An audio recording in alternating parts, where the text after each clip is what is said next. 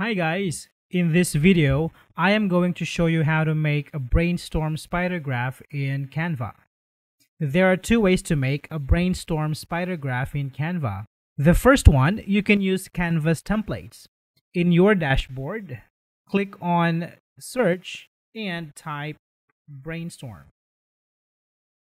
And from here, you can choose from many different templates that suits your needs. For this example, let's go ahead and choose this one. Click Customize this template. Now here, you can already customize this template. So you can change the text by double clicking on the text and typing your own. You can also create your own. To do this, let's go back to Home create a design, let's say presentation. And from here, you can go to elements, choose the elements that you want to use. So for this example, let's go ahead with shapes.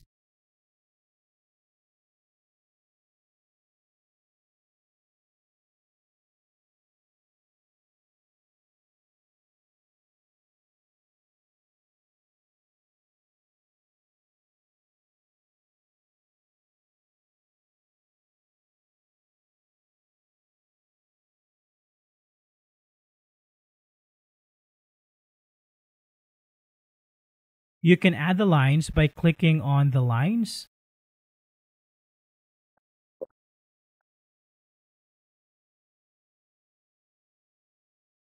And you can expand the graph by adding more shapes and lines.